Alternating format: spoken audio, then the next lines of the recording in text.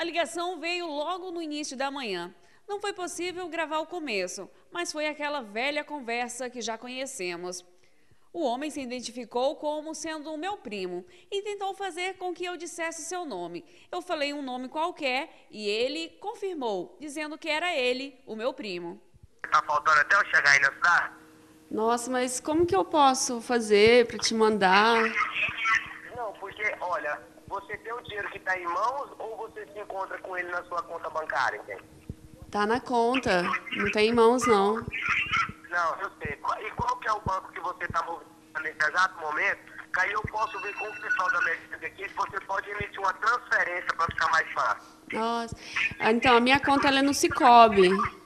Ah, é no, é no Cicobi. No Aham. caso, eu vou passar pro mecânico aqui, ele vai te instruir como que você vai fazer, tudo bem, Kelly? Tá bom, então, passa aí. O criminoso afirma que vai passar o telefone para o mecânico que está consertando seu carro, para que ele possa me explicar o problema e passar o número da conta onde eu deveria fazer o depósito. Bom dia. Bom dia, com quem eu falo, por gentileza? É Kênia? Oi, dona Kênia, aqui quem fala é o seu Luiz Antônio, da Mecânica Dois Irmãos, da Autoestrada. Sim, seu Luiz. Isso, aí ele estava me explicando aqui que a senhora trabalha com o banco do. Isso. No caso, a senhora para estar fazendo o pagamento, a senhora tinha que passar aqui no banco do Cicobi e aí fazer um pagamento na lotérica. Não tem problema não, dona Kênia? Não entendi. No caso, você teria que fazer um saque na agência do Cicobi Ah, e fazer sim. um depósito na boca do caixa na Caixa Econômica. Não tem problema, dona Kênia? Ah, mas aí tem aquela questão do limite também para sacar, né? Eu, eu sei, dona Kênia. Aí de quanto que é o limite da senhora na agência do Cicobi?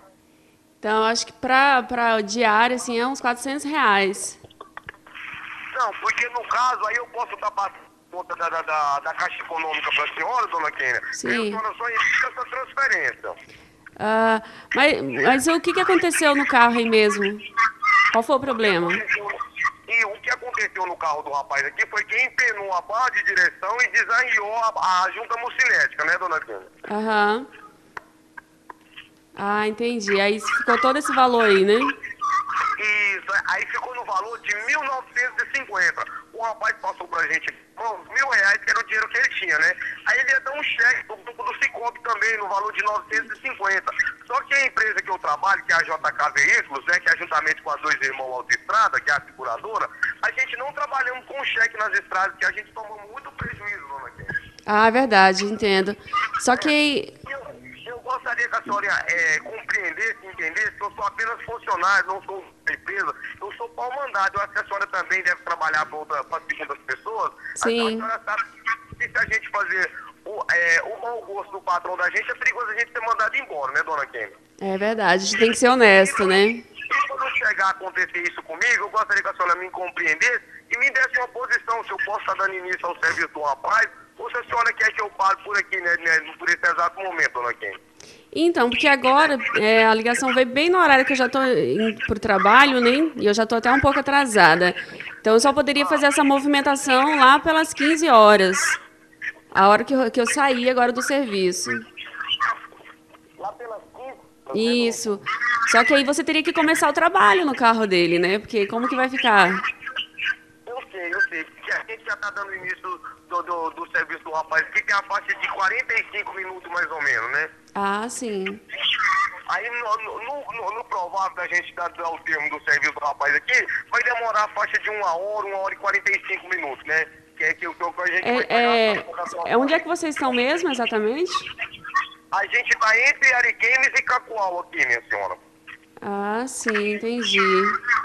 Certo? Aham. Aí, no, no- caso, a senhora acha melhor eu passar a conta para a senhora, a senhora está emitindo diretamente esse pagamento, ou que, que a senhora pode me estar dando uma posição? Porque eu teria que estar dando uma posição para o meu patrão, né, minha senhora? Porque, no caso, eu não posso estar muito enrolado aqui na... na É sim, verdade, eu entendo. Não, mas pode passar a conta, sim. Pode. Aham. Aí, assim, será que a senhora pode resolver isso aí o mais rápido possível? Porque daqui a uma hora e 45 minutos o serviço do rapaz está pronto, né? É, né? Então eu vou tentar fazer essa correria, então, para ajudar ele aí. Não, co- como é que é, dona Quinha? Oi? como que a senhora me disse? Eu vou fazer a correria aí daqui a pouco. Agora eu não posso, mas daqui a pouco a gente tenta agilizar isso aí para ajudar ele. Não, então eu vou fazer o seguinte, a senhora pode estar anotando a conta diretamente da Caixa Econômica? Posso. Aí a senhora vai fazer só um saque no Cicobi e vai fazer um pagamento diretamente na boca do caixa. Ah, não sim. pode ser envelope, então a gente não confirma o pagamento hoje e o rapaz não pode estar seguindo viagem. Tudo bem, dona Kênia? Ah, tá ok. Então tudo bem, a senhora pode estar tomando conta da nota da empresa? Anoto sim. Vamos anotar aqui agora. Pode falar. É agência 0014 0014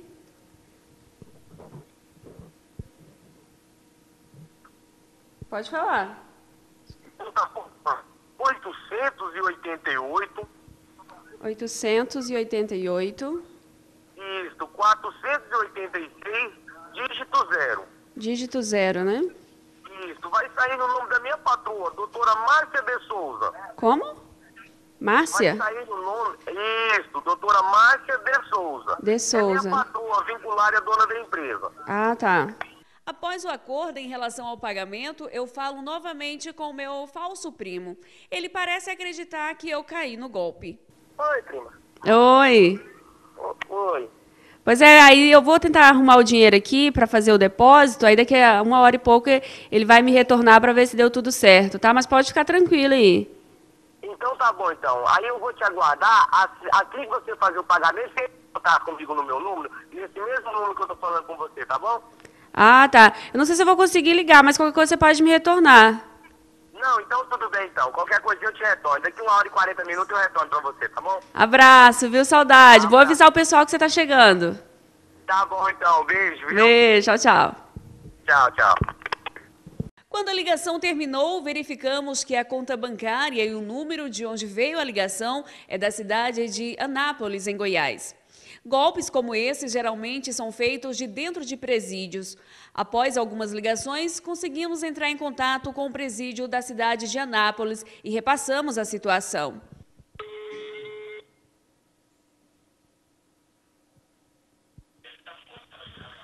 Presídio, bom dia. Oi, bom dia. Com quem eu falo? Ronaldo. Ronaldo? É, Eu gostaria de falar com o diretor, ele tá por aí? quem gostaria? É a Kênia, Da onde? do SBT. Oi? Do SBT. Um instantinho. Tá ok. Ronaldo, é porque a gente está com uma seguinte situação que eu queria colocar para vocês e vocês nos ajudam a resolver ou esclarecer. Ah, eu- nós somos do SBT aqui em Rondônia e a gente recebeu uma ligação de um número aí de Anápolis, hein? Sim. Aquelas ligações que todo mundo já conhece, que o pessoal liga e diz que ah, é um parente que está chegando e que tá, quebrou o carro próximo à cidade e estão pedindo dinheiro para fazer o conserto desse carro. Se identificam como parentes, né? Eu, nós- eu sou repórter aqui no SBT e essa ligação chegou no meu celular agora pela manhã. Aí a gente conferiu o número, vem aí de Anápolis, né? E como a gente sabe que essas ligações costumam acontecer de dentro dos presídios, a gente está entrando em contato com vocês para tentar ver se está havendo algo do tipo aí acontecendo, né? Perfeito. Ah, eles ficaram de me, eh, me, me repassar o número de uma conta, que também é de Anápolis, hein? E me, me deram um prazo de uma hora e meia, mais ou menos, para fazer o depósito desse dinheiro, né? Sim. Aí a gente gostaria de passar essa situação para vocês também aí, né? Pode ser que esteja acontecendo aí dentro, a gente não, né, não, não pode precisar. Isso aí é, virou uma rotina, né? Sim, É, todo, todo- mas aí para saber se realmente é daqui que é o problema, né? é verdade. Porque Mas- isso aqui diariamente é feito, quase que diariamente é feito revistas e sempre é encontrado os os celulares, né? Sempre são encontrados? Sempre são encontrados. Isso aí é. Não sei como que entra, mas Aham. sempre tá. É, Infelizmente sempre encontram, né? sempre encontro, sempre encontro. Aham. Então, é, Isso já virou, já virou, sabe, uma rotina no- nos presídios em geral. viu? Eu soube desde o começo que se tratava de um golpe, mas muitas pessoas ainda são lesadas em situações como essa. Oi, alô? Oi, e aí, você viu? É, qual que é o seu nome mesmo que eu esqueci? Oi, aqui quem tá falando é o seu Luiz Antônio. Ah, sim, Luiz. Deixa eu te falar, Luiz. Isso. É, você- vocês ligaram para mim, né, logo cedo. Só que deixa eu falar para vocês. Você ligou para uma repórter do SBT. E a gente não cai nesse tipo de golpe. A gente já ligou aí no presídio, que você- de onde vocês são. Pronto. Já desligaram, gente. Para vocês verem como é, acontece. Eles ligam, fazem toda aquela situação. A pessoa, às vezes, fica nervosa, acaba falando o nome de parentes, acaba se envolvendo na situação e não percebe que está caindo em um golpe. Foi só a gente falar que éramos do SBT, que havia ligado para a gente, rapidamente desligou o telefone. Infelizmente, o golpe é velho, mas situações como essa ainda acontecem. A gente precisa ficar atento.